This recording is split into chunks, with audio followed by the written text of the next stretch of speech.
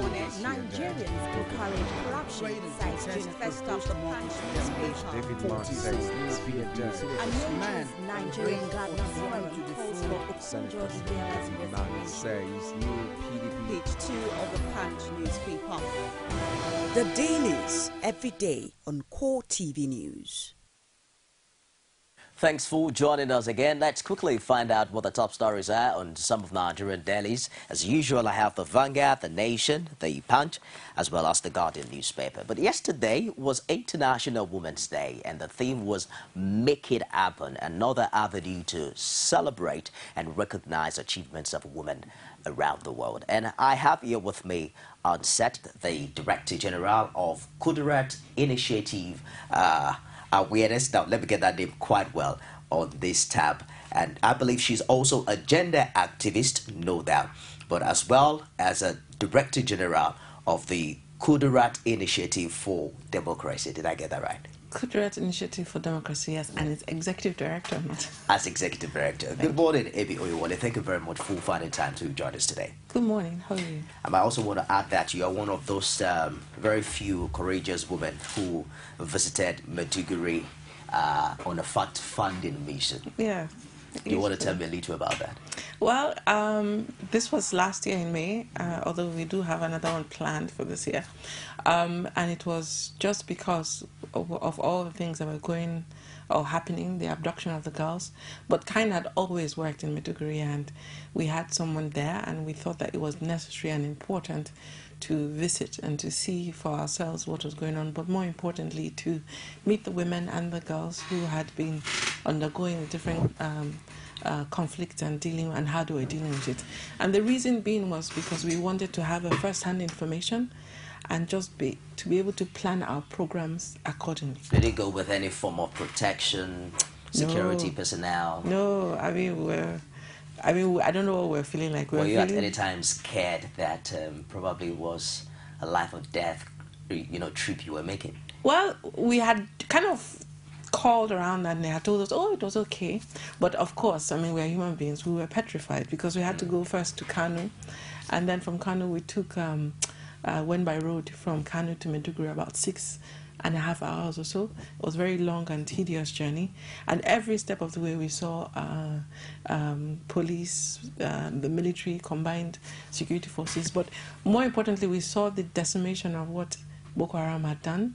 We had on the road we saw some places that were bombed out. We saw some shelters, and it was just very, very, you know, it brought it home to us that this is really real. You know, this is not um, some uh, propaganda. This is these are people that are. Well, you were lucky not to have confronted Boko Haram as a sect itself. I, we were praying every day. and To be honest, we were like, but it, it, it was not so much as only Boko Haram. It was also the military forces, because there's a lot of suspicion and a lot of uh, anxiety and tension on the ground. There's a lot of, uh, you know, we don't know who is who. So one of the points that we got to almost when we were about to enter.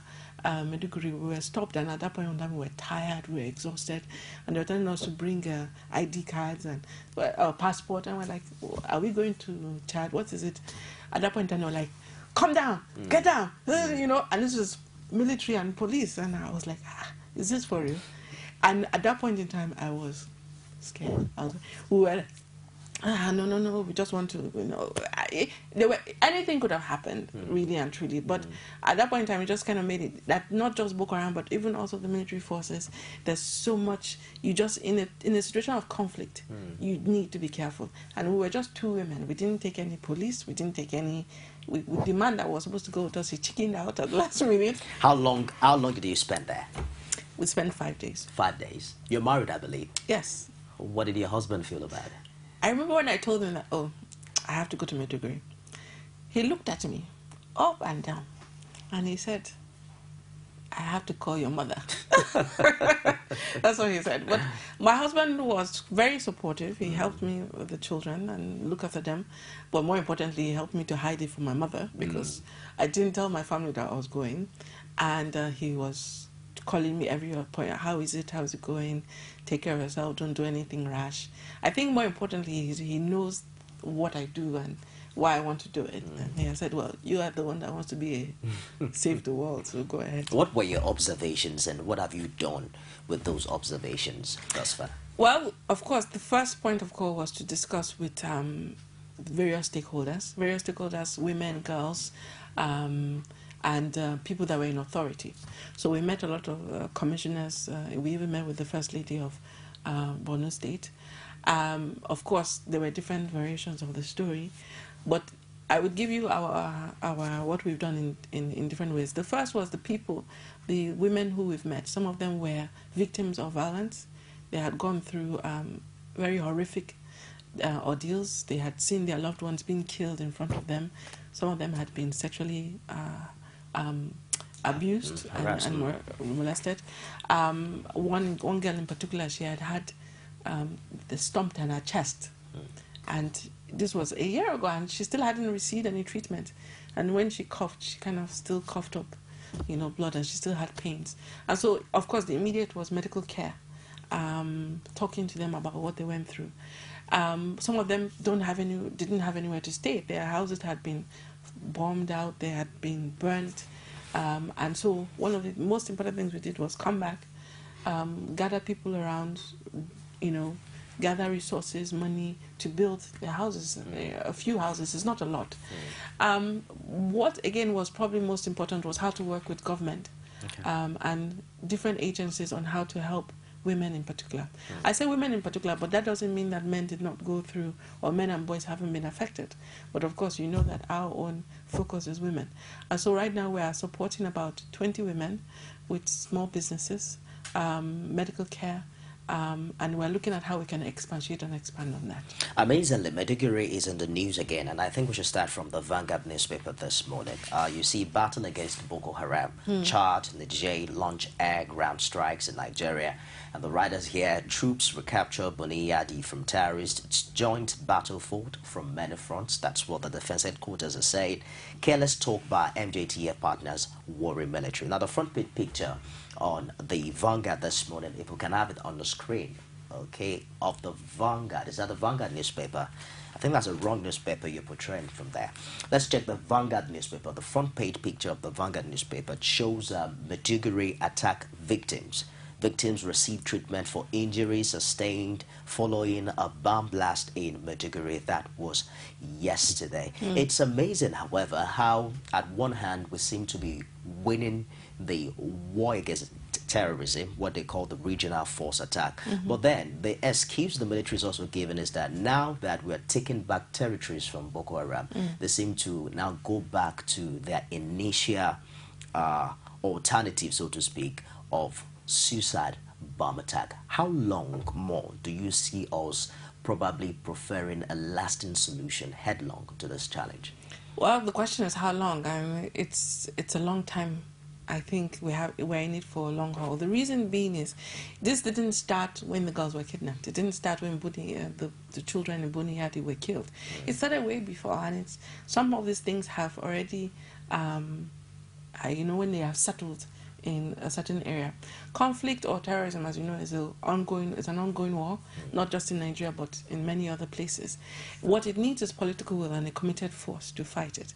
What I what I find very very very uh, frustrating about Nigerian um, uh, government and the way we're doing it is, on one hand, you know, you you today you put your military forces and you fight. Uh, take Buni Yadi or you take uh, Waz Goza or you take, uh, but then you leave it open and then they go back there. You forget that these people they live there. Uh, the the terrorists that's where they stay.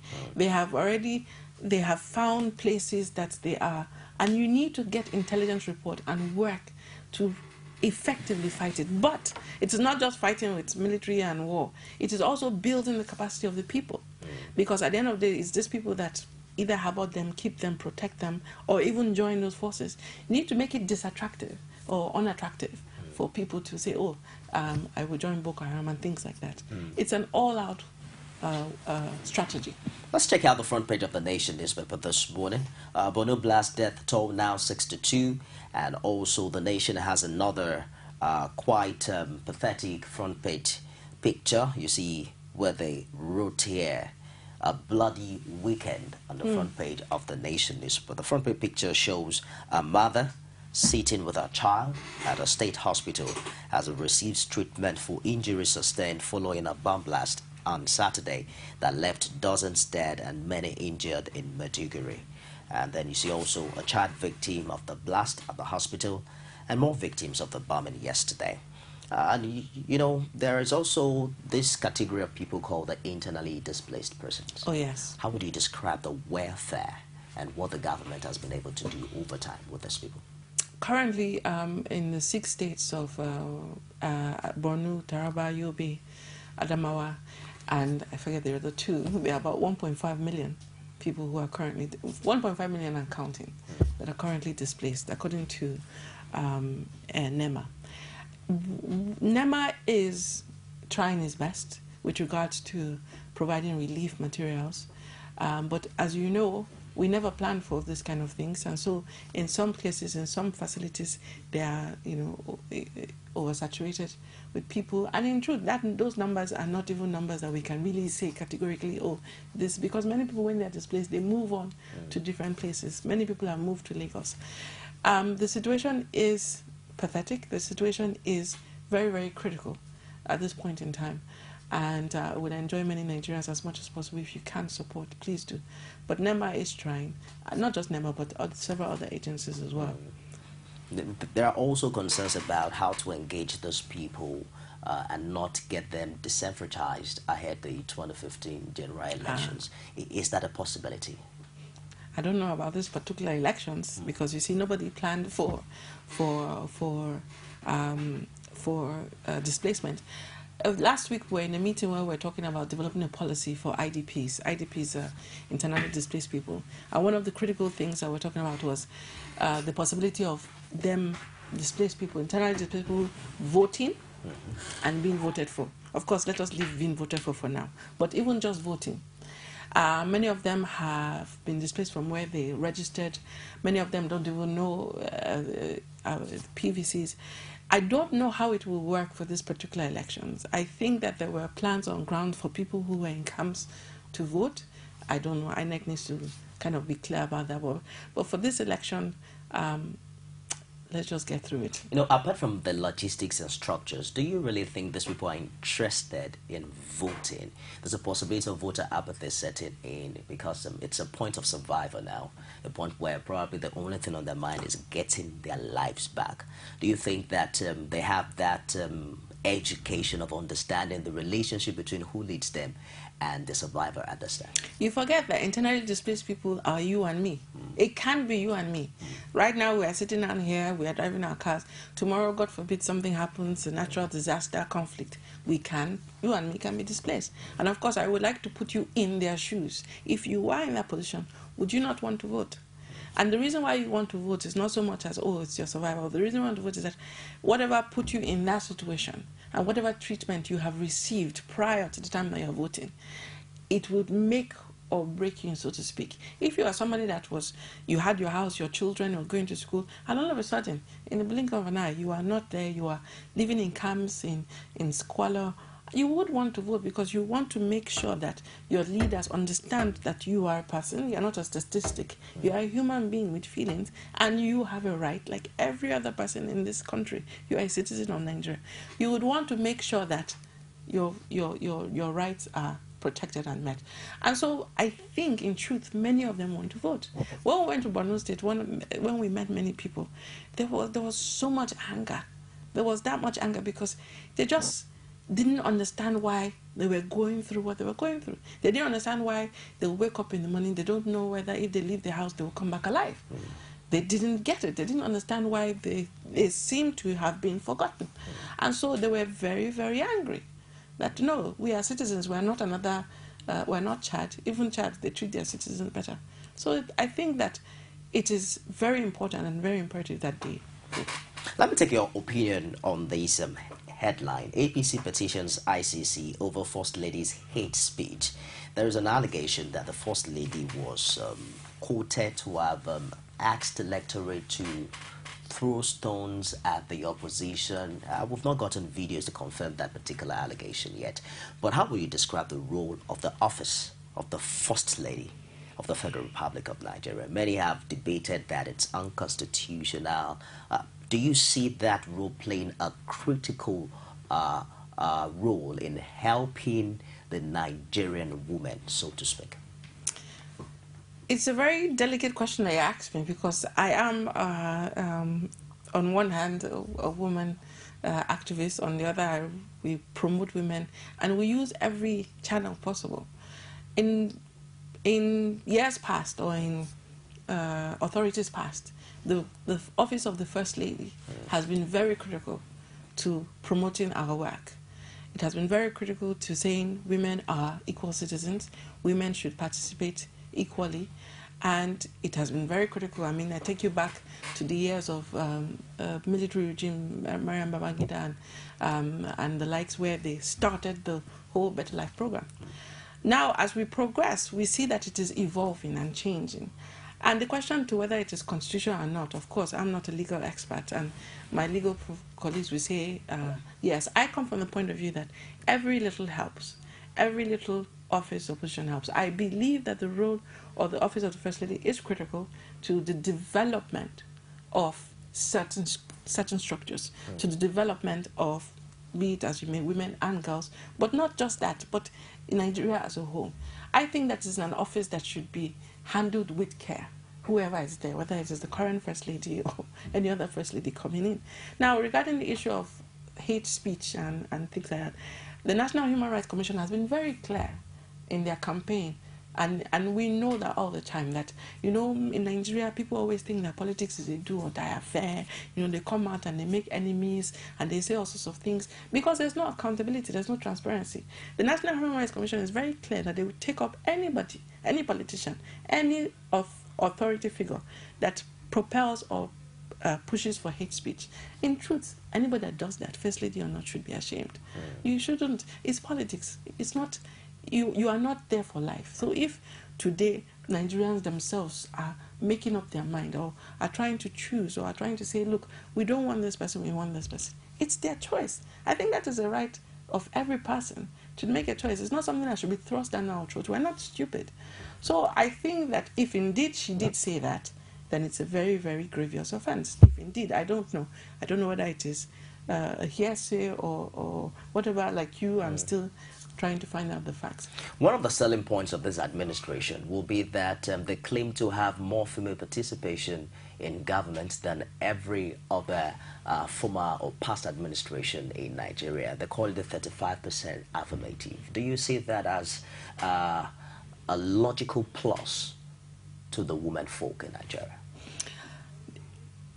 fact. Fact is this administration has in fact done quite a bit for women in terms of putting women in key positions. That is a fact. It's not disputed or it cannot be disputed. Fact it is not only at that particular position which is the federal level mm. that it would now automatically translate to oh now we have more women so therefore bam everything has changed. No it is supposed to be at all levels. And this administration has shown very clearly that, yes, they have tried to put women in, in several uh, positions. I think it is a plus for women and for Nigerians in general, women in particular, but Nigerians in general. Is that a selling point for this particular administration? I suppose that whether it is the PDP or APC that is the government or any other party, they would use it as a selling point because now many people have realized the power of women or the power attributed to women in the sense that women make up 50% of the voting population. Women are, are, are 50% of the population in general, not even just as voters. So it's important that we begin to take cognizance of women and begin to tell women that, oh, we can do this for them. Have this appointments practically impacted on the welfare, the well-being, taking a larger chunk of women away from the poverty level? Has it uh, in any way impacted positively on the average Nigerian woman? Well, the research is still out on that one. I would say that um, it has gone on, the appointments have shown, unlike before in 2000, in 1999, when, when you look at women in politics, you can only count, or women in leadership, you can only count one or two. It has gone to show that women, when, uh, when given the opportunity or when put in certain positions can lead. It has almost, or it is almost beginning to change the perception of women themselves as leaders, but also of people like men and women and on women. Has it changed women's situation? Not necessarily. Not necessarily. But I, like I said, it is not just putting women in leadership automatically that changes Does it. that further affirms the school of thought that it really does not matter what gender occupies one political seat or not? For instance, the APC, on the contrary, claims that it's the only party that is fielding a female uh, gubernatorial candidate in the forthcoming 2015 election. Doesn't matter whether the governor is male or female to necessarily impact positively. Research has shown that where you have women in polit- political participation, where we have women involvement in political participation, the development of that country has changed significantly. Look at the Scandinavian countries. They have more women in politics. They almost have 50%. They are doing much, much better. Rwanda, where they have women that are almost well, almost 50% as well. They are doing much better. So yes, because the reason is when you have women occupying strategic positions, they're able to bring policies, they're able to shed and bring a different light. So your question of does it matter? Yes, it does matter. As a woman, I would like to go to work. I would like to know that my children who for some reason all of you have put it on my head that I'm the one that takes care of children are taken care of. I would like to know that I have better daycare for my children where I work. I would like to know that I have better medical facilities for my children. I would like to know that I have equal wages with a man. So yes, it does matter. Are the Nigerian women ready for this political challenge? Because obviously, from the statistics, it's still not balanced, so to speak. I don't think the question is are the Nigerian women ready? I think the question is are Nigerians ready, period. The question is are Nigerians ready for, let me not use that word, but are Nigerians ready to take their development to a, a level that they are comfortable with? Are Nigerians ready to see the right people in position? Are Nigerians ready to challenge certain stereotypes and status quo that they keep on shoving down our throats? And I think the question, the answer is yes. For instance, there are about 14 presidential candidates for the 2015 election. I'm not sure if any of them is a woman. There is one woman. Just one Dr. 14. Remi Sonaiya of KOWA Party. In fact, we joke about it that she she she is the only and I actually learned that too as well last week that she's the only she's the first female political uh, presidential aspirant.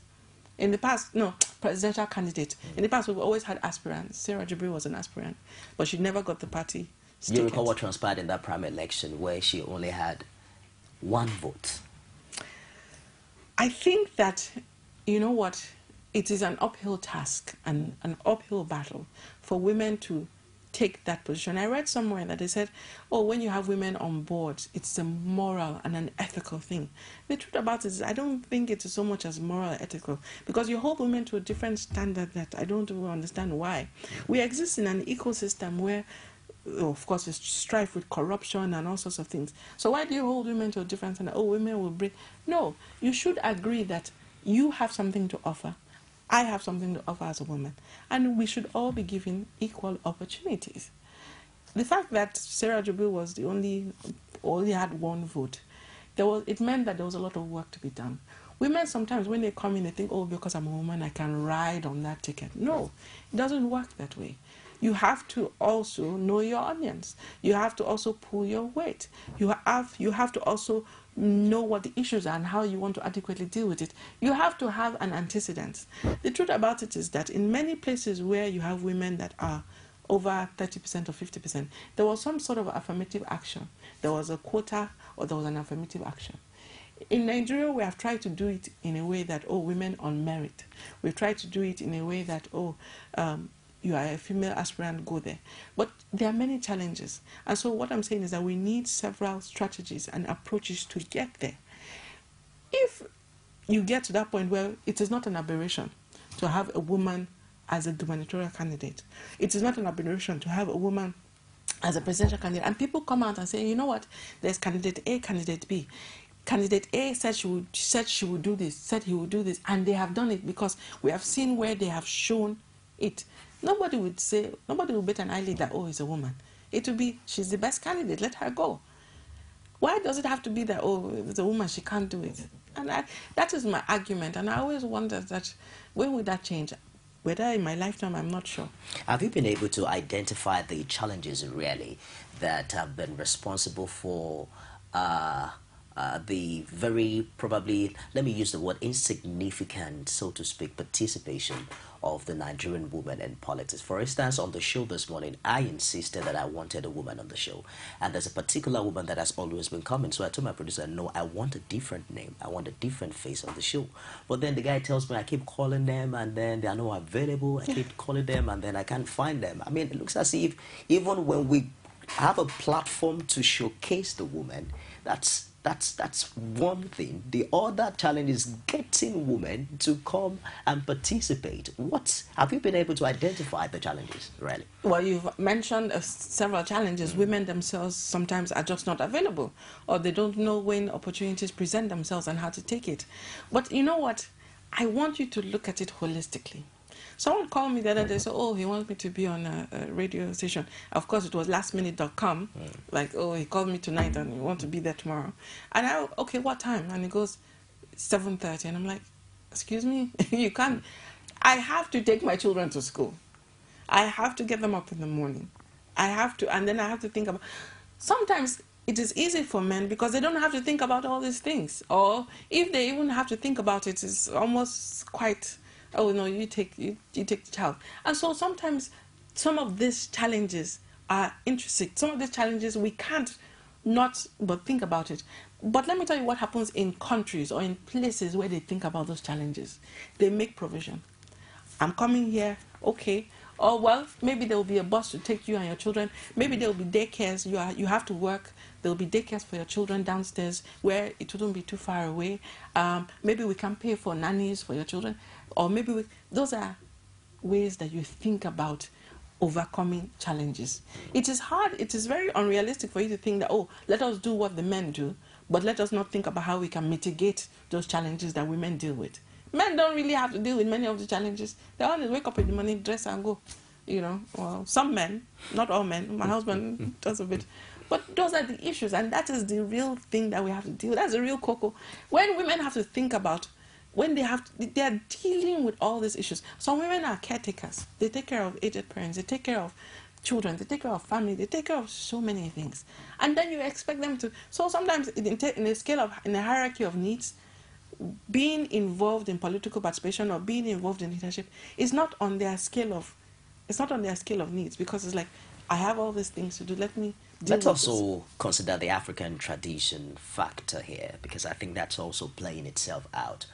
I will look at a situation whereby probably traditionally uh, the woman is not supposed to uh, uh, uh, worry herself about politics. You did not just say that. No, no, no, just a minute.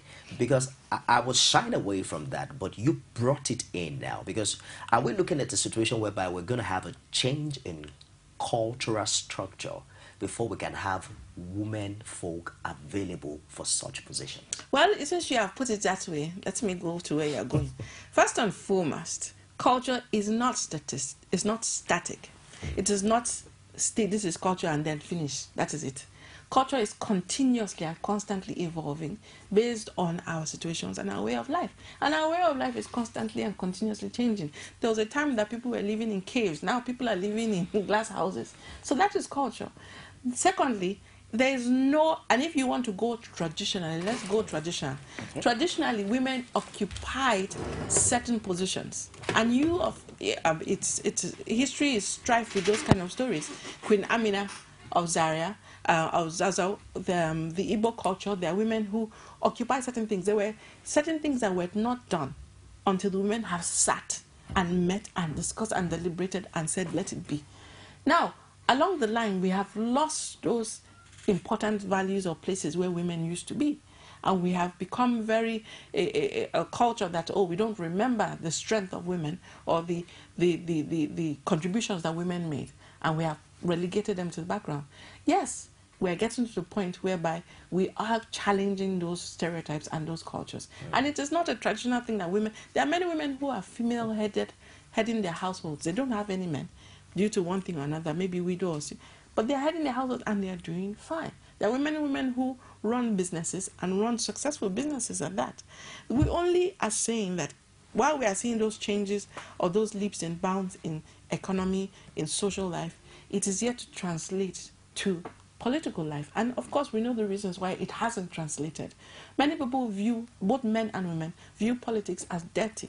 They view politics as something that, look, uh, please, I don't even want to go in there. I won't touch it with a 10 foot pole. For several reasons. You have seen, we see it every day on the papers, we read how politics can be. And many people rather like, oh, let me take myself away from that. I see and where you're coming from. But, but let's quickly also focus on your organization. What, what would you identify as the Kudirat Initiative for Yes. Democracy? For instance, someone would say that was Kudirat herself actively involved in politics? If she wasn't married to MKO Abiola, would she have gotten that kind of prominence and recognition? Uh, was it a was it just an activism, a reactionary uh, political relevance, so to speak? Many people go into politics for different reasons. The truth about it is that one of the challenges that we all, particularly women, find is that we are not politically engaged or we don't understand what politics is. The truth about it is that everything in life is about politics. One day somebody will wake up and tell you, don't wear this, is monkey suit. Go and wear, start wearing traditional from Monday to Friday. Everything is political. And we tend to not understand the differences. Mm. Many people are, are drawn into politics for one situation or another. Kudirat herself was drawn into it, maybe yes, because her husband went into political participation, but she was in in every definition a politician, because politics is about understanding the different powers that be. Politics is about broken, uh, uh, uh, bringing some sort of uh, uh, need for people and meeting those needs. And she had she met those needs, whether it was fighting for her husband to be released or saying that oh for three weeks we wouldn't have petrol until certain things are done. That's politics. Look at it and check it. Unless those nobody is born a politician. Everybody stepped into it to say, oh, there's a need that needs to be met, and I think I can meet this need. Do I have the qualifi- qualities ready? Yes, I do. Let me go into it. And it's a constant learning and, mm. and a so she was a politician. She continues to epitomize the kind of women that we want to see in leadership. Women who might just be ordinary housewives, or I won't call anything housewife ordinary. There's nothing ordinary about housewife, but or traders or something who just say, you know what, there's something there. There's something wrong. Let me go. Let me quickly open the phone lines if we can get a couple of calls. I'm also interested in female calls because that's another thing. You host a show for five days in a week and then you hardly get three female callers across Nigeria. Let's take calls and find out what you believe are to be the challenges um, affecting women participation in Nigerian politics. But the rescheduled elections are just about 19 days to go. Yes. And of course, we know that there are fewer women who are actively uh, have shown interest or who have been given the candidacy to be voted for. But how would you describe the role of the women folk? Because um, unfortunately, too, what we've seen women actively participating is um, the party, uh, the partisan politics where they dance and then you know that they are being paid to do certain things. Do you see women voting really? Uh, or let me put it this way: What do you see influencing the female votes in this election? Well, first and foremost, um, there are actually more women contesting in this election than there have been in the last two elections. I also learned that, which is, which I thought, oh no, there are more less women coming up, but there are more women contesting um, at different levels. Now, the elections have been postponed, and women are working towards, you know, they are actually trying to get their PVCs and come out to vote. The challenge is not so much as women should vote for women. Okay. People automatically assume also that, okay, I'm a woman candidate, so you vote for women. Sometimes it doesn't work that way. Hmm. And because I, I guess it's a, also a case of you have to convince me as a voter why I should vote for you, whether you're a man or a woman. Hmm. That's me, though. I can't speak for the other population that are voting, but hmm. for me, you can't just come and say, ah, vote for me, I'm a woman, therefore I'll bring the women votes. Ah, I'm educated, I understand, I engage you on the issues. Hmm. So, how would you address this? How would you address that? And many candidates, not just women, but men that come forward, do not know how to address those issues. Hmm. And that is a sad reality. And sometimes when people, women and men, go to vote, it's just to, okay, I know this party. Who is this one? I don't know this one. Okay, I vote for this one. I vote for this hmm. one, and that's how it works. It's all right. We'll get the phone line very quickly. When you're calling in, endeavor to turn down the volume of your TV set so we can have a crystal clear communication. Now, don't forget that there is a lead to delay between what we say here and what you hear on your Star Times device. So ensure that your TV set is mute. Hello, good morning. Good morning. Welcome to Core Digest. What's your name? Hello? Hello, good morning. What's your name and where are you calling from?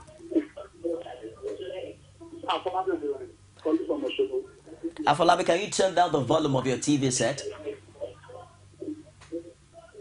Afolabi on the line. All right, please go ahead with your contribution. I just want to greet you. Uh, I just want to greet you on your program. Okay. Yeah. Well, thank you very much, Afolabi.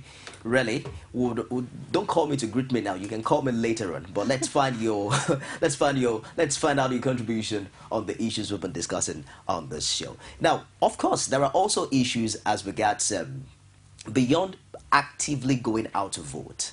Because um, you also have been able to establish some of those factors uh, that have hindered women to participate uh, as candidates. But now, the issues of going out to vote, the issues of the family, there's every possibility that probably the woman will vote who the husband is voting. Is that a mm-hmm. reality as well? No, my husband and I completely voted for. Uh, Different candidates. Well, we we we have political engagements in our house. We sit down and we mm. have political discussions. Mm. I think the truth about it is that again, going back to the question of women politically engaged. Mm. I was on the road uh, driving, and you see all these vendors when they come, and now I, I wanted to do an experiment. Like, okay, let me see what this vendor will show me.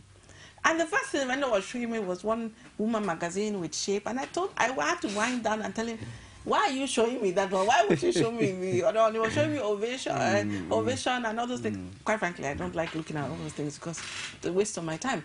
But it just occurred to me that that is how our perception are. Sometimes we think that being involved in politics is just too much work on the brain. So of course I can sit back and ask my husband, "Oh, what do you think of Ambode or what do you think of Jimi Agbaje?" But I am also able to come up with my own opinions. Hmm.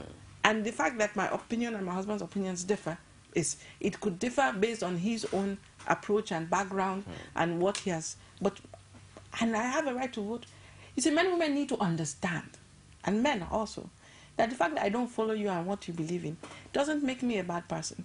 God gave me a brain and I'm using it. Does it also has anything to do with the educational background of the woman in question? Education is important. Education has been shown to when women are more educated, certain things change. Just a minute. Let's check this out. Hello, good morning. Welcome to Core Digest. Are you there? Oliver calling from Imo State, Owerri. What's your name again? Oliver calling from Imo State, Owerri. Oliver. All right, please go ahead with your contribution. Can you hear me? Yes, very clearly. Go ahead with the contribution, please. Yes. I think the problem we are having in Nigeria today is the problem of uh, uh, the Nigerian politics that are not supporting the women. I think we should support the women so that if the women are involved in politics, they will do more better than the men nowadays. Because it's not really encouraging. It's, it's all right. But, and I think that's also another very big issue the idea that women need to be supported Yes. to get a chance politically. If they are equal and if they are up to the task, do they need any extra support more than men? We must begin from the premise that we are on an uneven playing field. Okay. We are not. It, look, when it comes to first and foremost money, we will never have the account, the amount of. Well, we will have one day. well, we can never have the current, you know, the bags of money that are being thrown around in political participation. Mm. Let's face it. When it comes to years and years of experience, to be a woman politician or to be in politics, there are several skills you have to have. One is negotiation. It's a serious skill. And many times women do not know how to negotiate. Uh, my husband said, take the children to school. Ah, but I have something to do. Take them now. Okay.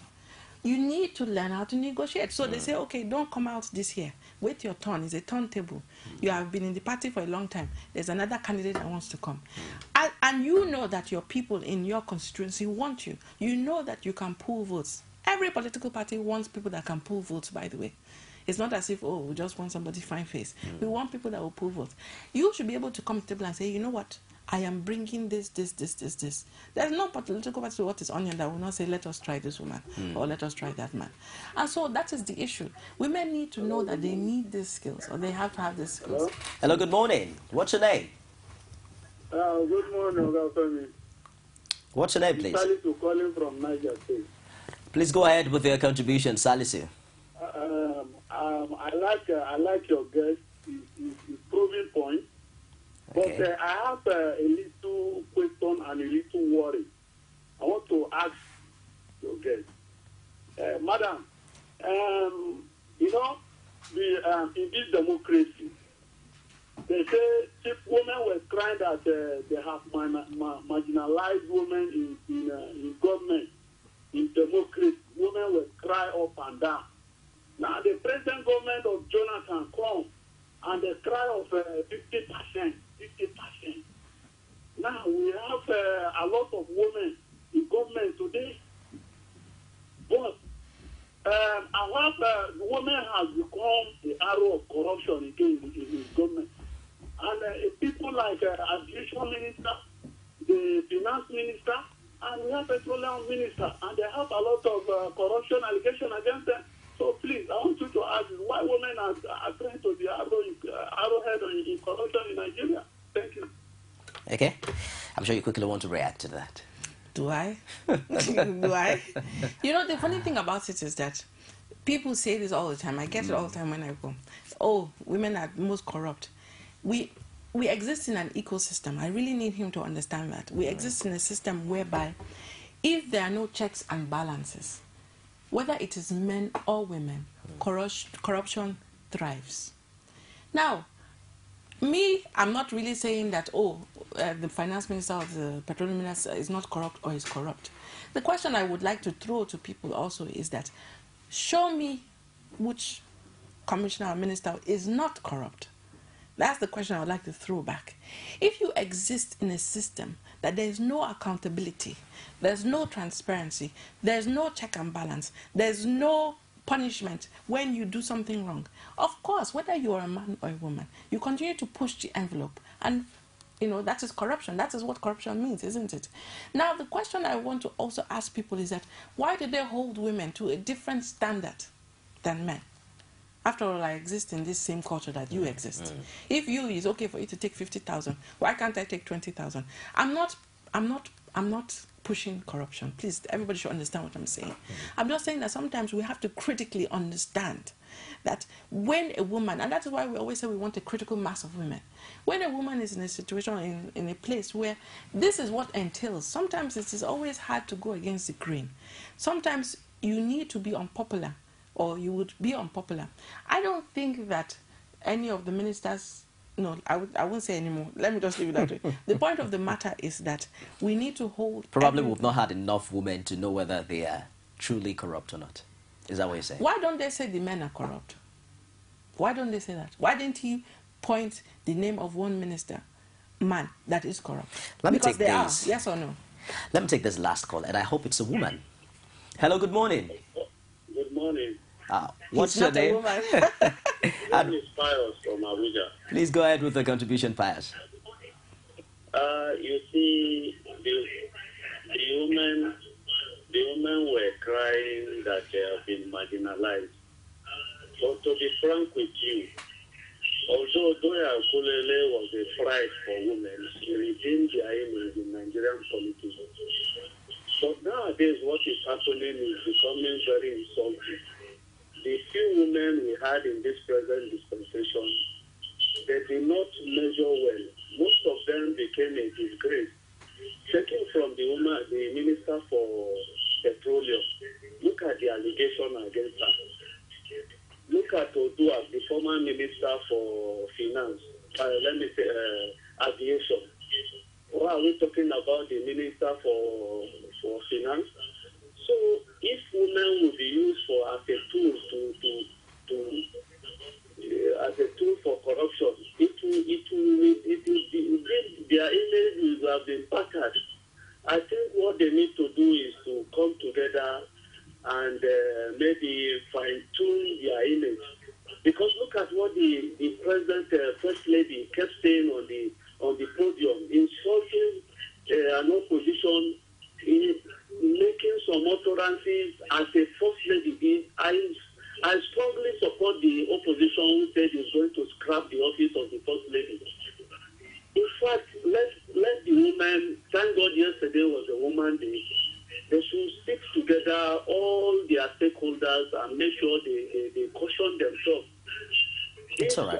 I, believe if we continue like this, it will not be good for them. Thank you very much. Thank you, Pius from Abuja. I also want to believe that individual and partisan perception could have contributed to the evaluation that political or women in Nigerian politics are corrupt. You know, for instance, um, not everybody will agree that the Minister of Finance is corrupt, and legally also you can't call someone corrupt if such a person has not been called you know, by a competent court. Thank but you. I, I must also admit that I got carried away with you because um, I have other guests waiting outside. But are you planning to engage in partisan politics? well, I do intend to uh, run Okay. at some point in my life in Delta State because I'm from Delta. Or Ogun State, it depends because I can do both Delta and Ogun. But no, Delta State. But you're taking your time for now. yes. Probably gaining some. experience, some know-how, some, you know, insights. But like every person that wants to be involved with politics, I'm really questioning that is this something that I want to go into? gathering some money as well. Hell no. I can never gather enough money. I, you need to understand. We need to sanitize what the political situation is like. We need to sanitize the political arena. We need to create more people like you Okay. and me that go in there. And it's not about the money, but about actually creating a change for our people. Thank you very much for joining us today. And I hope that um, before you go, you also give us some contacts to some other women that we can talk to Already on the done show. so. Okay. Done it. Oh, you already did that. Yes. Fantastic.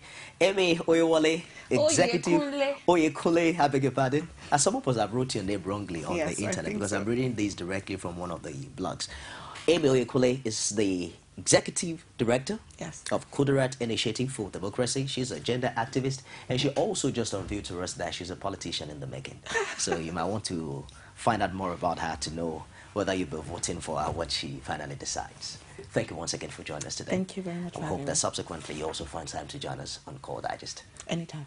We'll take a break now, and when we come back, we'll turn attention uh, to some more very specific political activities that took place during the weekend. Of course, um, INEC did a mock test on the card readers. Some men will be joining us, and we'll be talking serious politics. Stick around, don't go away. From time immemorial, women have birthed life, shaped character, and by extension, influenced the society. Moremi of Ife, and Emotan of Benin, Queen Aminat of Zaria, all women of influence and power. Whether it's before election, after election, How ironical. Women being so powerful, yet have few grounds in decision making. They see you as a weak, and I see you as a wife to a man. We are talking women in politics. a woman will be bold enough to stand up and say, I want to become president of Nigeria. Only on Core TV News.